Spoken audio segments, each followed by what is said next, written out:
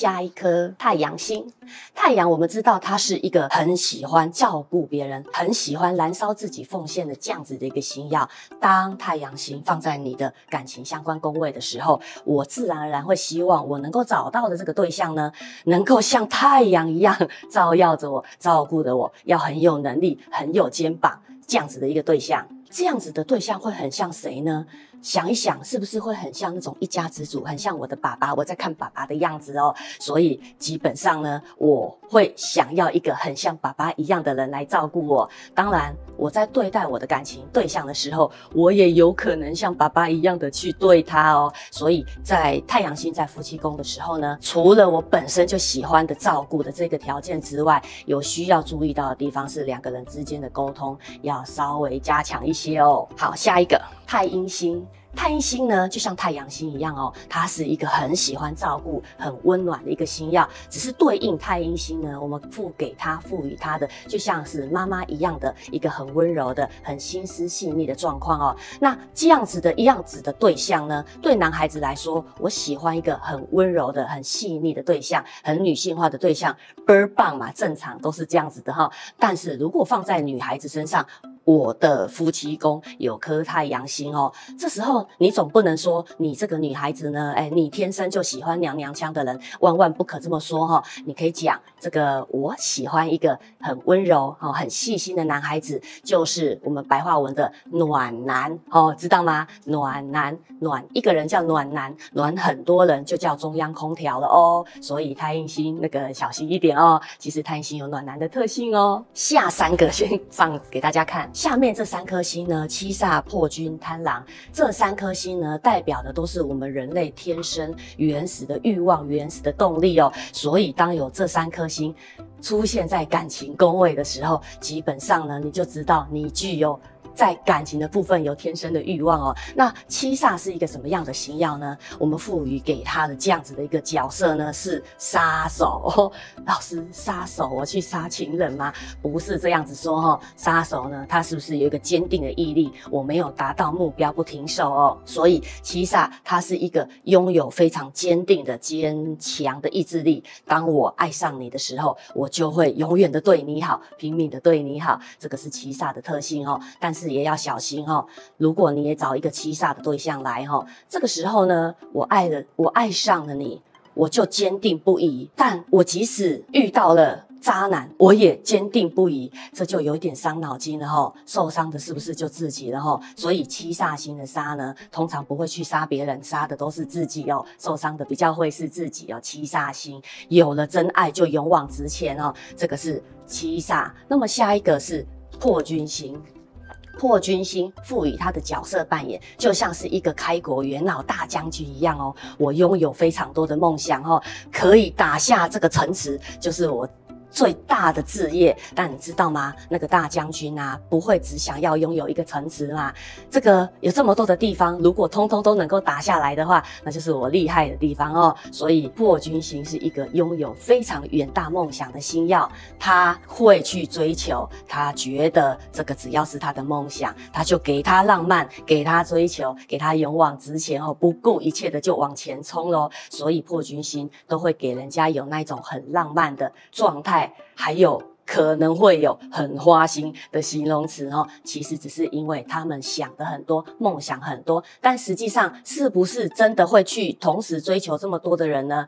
也没有哈，只是我骨子里有这样子的态度跟想法，实际上要看运线盘喽。那么贪狼星呢？贪狼星是十四主星里面最大的桃花星耀哦，所以当有这样子这么桃花的状态出现在你的感情宫位内的时候，表示在这个时候你的桃花人缘是非常好。的哦这一个桃花星，这一个贪狼星呢，因为我拥有非常非常多的欲望哦，那我会。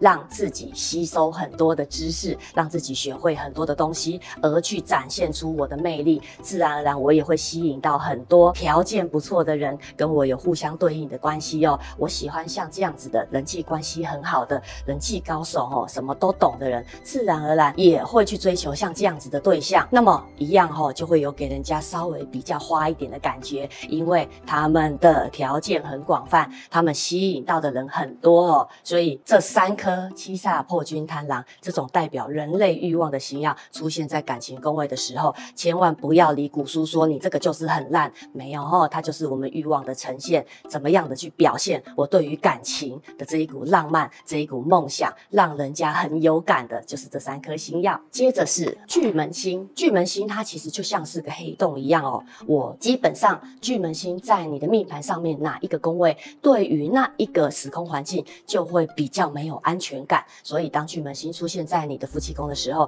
你对于感情的这件事情呢，相对的会比较没有安全感一些。所以呢，在对于感情的付出的这一件事情上面，或许会比较没有办法。全然的付出总是会给人家有一点点距离的感觉，但是不要小看巨门星哦。当他一旦认定你是我的爱之后，你就会觉得他像是火山孝子一样大爆发了。这个是巨门星，但你知道这个黑洞嘛？因为它的不安全感哦，所以那个要小心。那个命盘上面运线的时候，有遇到了一些些煞气哦。我因为不安全感呢，所以我是不是要累积多一些，让我拥有安全感一些哦？这是。巨门星在。夫妻宫的状态哦，下一颗廉贞星，廉贞星我们赋给他的一个角色定义，会有一点像是外交官一样，怎么样的人可以成为外交官哦？基本上要够聪明，反应要快，要灵活哦。而且我对于我的外形也是很有把握的，所以当有廉贞星在你的夫妻宫上面的时候，我就会好好的把我最棒的、最倍棒的、最好的状况表现出来。而且呢，廉贞星它有一个特性，它会好好的把自己管控在一个。安全的范围内哦，我应该要好好的遵守这样子的规范，就像外交官他出去外国也不能乱来，对吧？所以呢，我能够好好的控制在我应该要遵守的范围内去展现我的魅力哦。所以当连真心在你的夫妻宫的时候，你会是一个魅力爆棚的对象哦，自然而然的你也会吸引到跟你很相像的类型的对象哦。而且呢，这个连真心啊，理性感性兼具，所以它真的是一个非常吸引。引人的对象呢？下一个天象星，天象星呢？我们赋予给他的一个角色定义，他还蛮像是宰相的哈。宰相做什么呢？我负责沟通协调人际，对不对？所以像天象星在你的夫妻宫的时候，我对于我的感情的这件事情呢，我设定好了很多我应该要走的规则。那这一个人呢，这一个对象呢，至少他的人缘、人际关系要好，至少他的外形打扮要好。哦，我有我的一些些相关的条件跟规则，自然我也有可能吸引到会这样子来对我的对象哦。这个是天象星，它是对于外形比较要求的一个星耀哦。那么最后一个武曲星。好，如果武曲星出现在你的夫妻宫哦，武曲星呢，我们赋予给他的一个角色定义，会有点类似像小将军一样哦。小将军个性也是很务实哦，脚踏实地，生活认真，个性豪爽。其实像这样子，在你的夫妻宫位的时候，我自己是这样子的对待别人，我其实也会希望我的感情对象是这样子对我哦。像那一种啊，心思细腻啊，那种会呃。规则条理这样子的星耀呢，他们是看不上眼的哈。你要至少跟我一样大辣辣的哈，很豪爽的，这样子才可以跟我搭配哦。那武曲星大家知道它是财星嘛，钱对他们来说是非常重要的事情，所以我要怎么展现我的浪漫呢？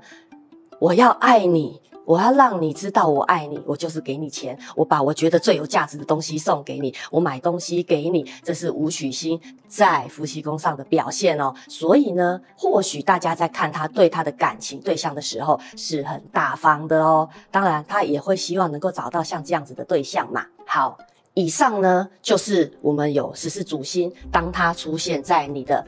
感情宫位哦，夫妻宫上，你对于这个状态，你会呈现出什么样子的个性特质？你的角色扮演？那老师，我的夫妻宫上就空的啊，我就什么都没有啊，什么都没有的时候呢，注意一下哦，如果你的夫妻宫上面呢，不是四煞星哦。火星、铃星、擎羊、陀螺，也不是文昌、文曲，基本上你就看一下它对面哈，对面你的夫妻宫对面的官禄宫哈，官禄宫是什么星耀？借过去解释就对了哈，抓过去。哦，你就有那两个星耀的解释哦。那如果有刚刚说到的四煞星加仓曲的话，解释起来就会是煞星的解释，或者是文昌文曲的解释。文昌星就知道嘛，这是一个很有条理的；文曲星呢，我有巧思，我有创意的。四煞星就是人类的冲动，可以参考一下前面有关于煞星的介绍哦。好，期待其他的角色扮演宫位吗？我们就下次见喽。